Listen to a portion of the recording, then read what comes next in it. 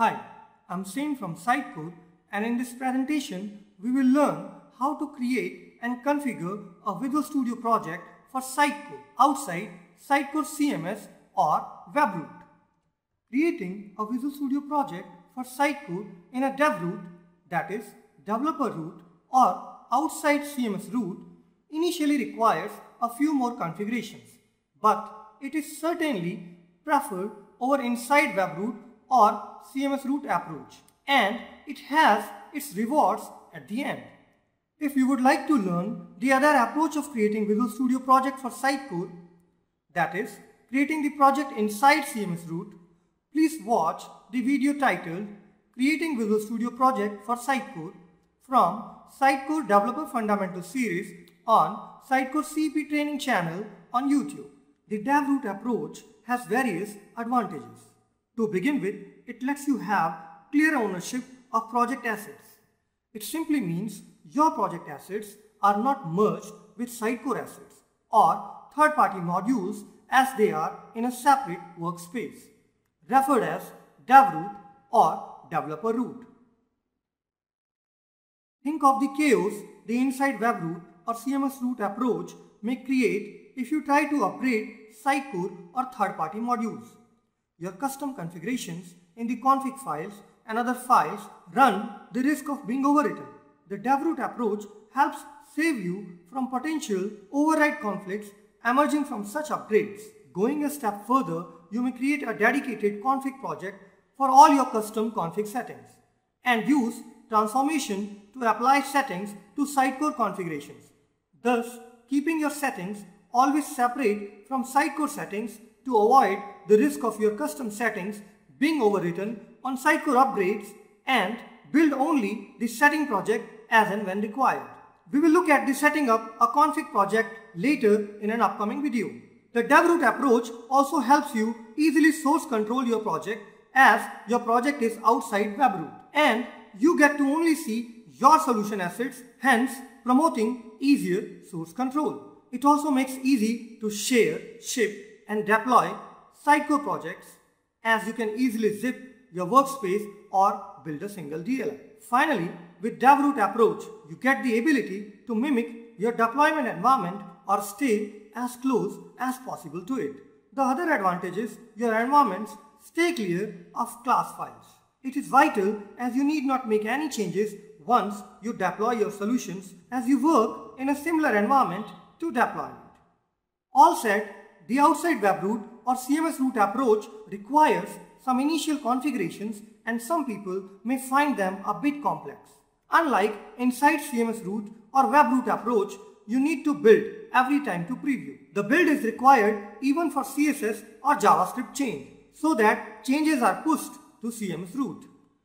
Building every time for even CSS or JavaScript changes might sound very cumbersome, but at the end of the day, you will realize that DevRoot approach is definitely superior to inside CMS root. So let's go and investigate. As we can see, I have a website called Sitecore 7 running on Sitecore platform. I can append Sitecore to log into Sitecore interfaces such as page editor, content editor and desktop. Let's log in to Sitecore page editor. This gets us Sitecore page editor. You can expand the toolbar by clicking on this small button on the top. In order to build this interface, Sitecore must be using some assets. Those assets are called Sitecore CMS root. So let's look at Sitecore CMS root now. By default, Sitecore installer installs the Sitecore in www-root. So let's drill down to www-root to look at Sitecore 7 website. So here is Sitecore 7 website. Double click and we observe there are other folders such as data, database apart from the website. The website folder is the Sitecore CMS root.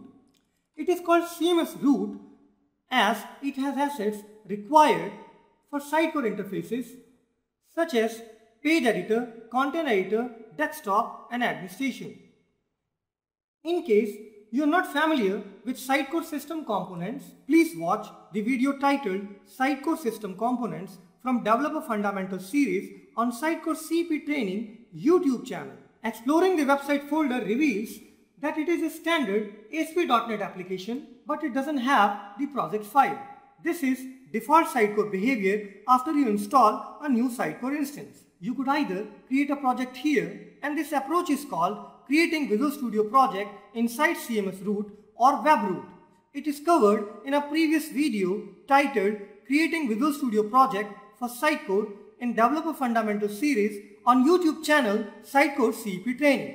The other approach that we cover in this video is to create the project in a workspace outside CMS root that is DevRoot. The DevRoot approach is a superior approach and recommended for real-life implementations.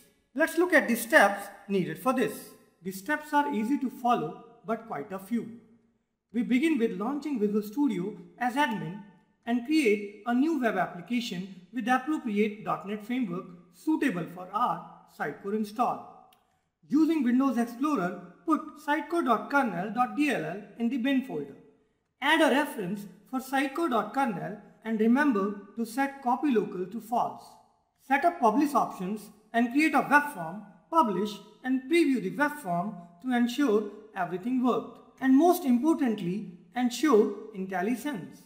You may not need to do additional steps if you're using Sitecore Rocks or register your web forms and user controls with sitecore.kernel assembly. If you are looking for the same seamless Visual Studio IntelliSense experience for Sitecore without worrying to add the register directives, please watch the next video titled as Enabling Visual Studio IntelliSense for Sitecore on Sitecore CEP Training YouTube channel. Well prepared? Let's go for action.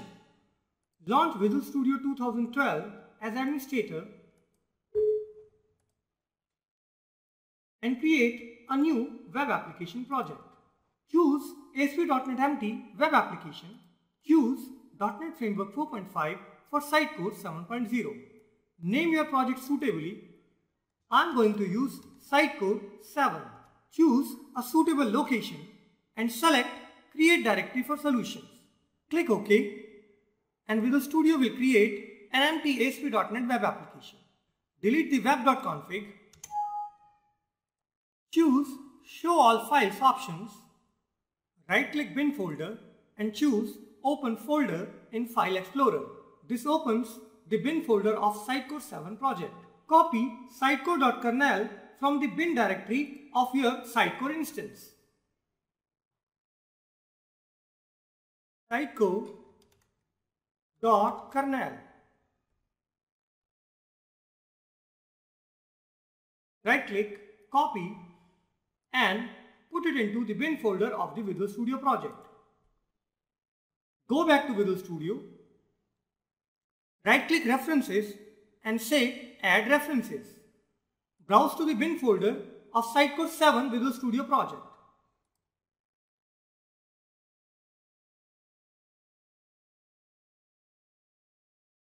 Choose the assembly, say add, say OK.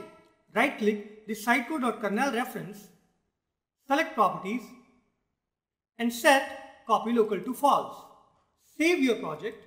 Let's move on and set up the publishing options. Right click your Sitecore 7 project, choose publish and create a new publish profile. Let's name it Sitecore 7 dev. Say OK.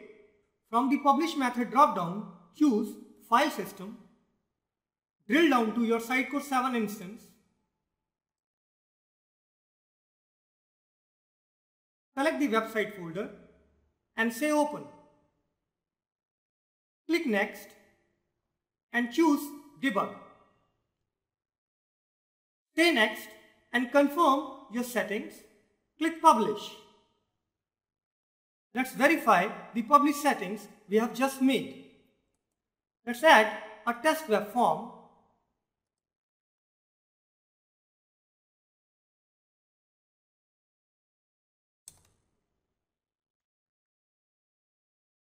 and try publishing. We need to first build the solution and then publish the project. As we can see, this could be time consuming. So let's add a shortcut for build and publish. Right click on the toolbar and choose Web one-click publish. click the bidirectional arrow for publishing. Let's verify if the publishing worked successfully. Let's open the website folder of our Sitecore 7 instance and verify if we have the files there. We notice the new file has been copied. This is a sign of success. Let's go back to Visual Studio and ensure that we have Sitecore IntelliSense in place. If you have installed Sitecore Rocks, you can right click and add a new sublayout. Choose Sitecore, select renderings and choose the sublayout file. Say add. Let's add a Sitecore text control.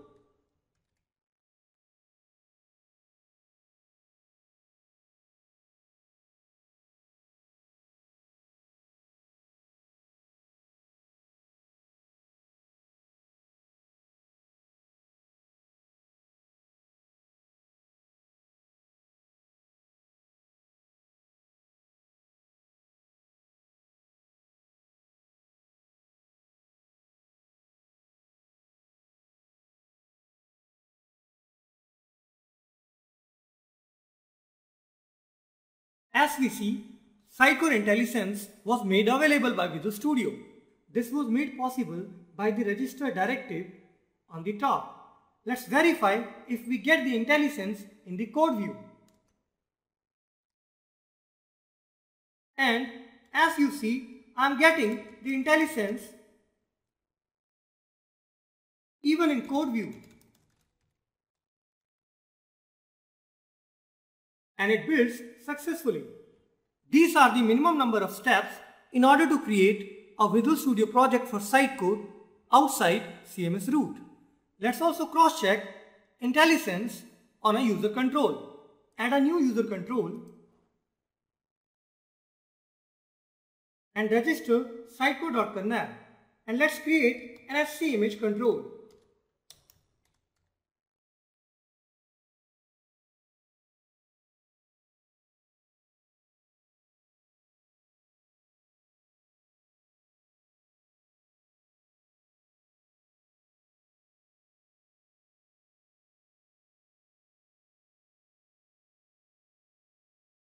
As you can see, we also get IntelliSense.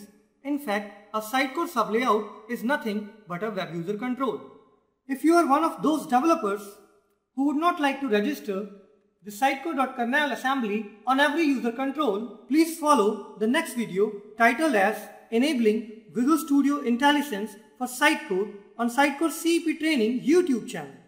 So let's catch up in the next video. We welcome your feedback Please provide your feedback or comments on our YouTube video channel Sitecore CP Training. Your wish, our command. Please tell us the topic of your choice or feature you would like to learn next. Once again, this is Sen from Sitecore. Thanks for watching.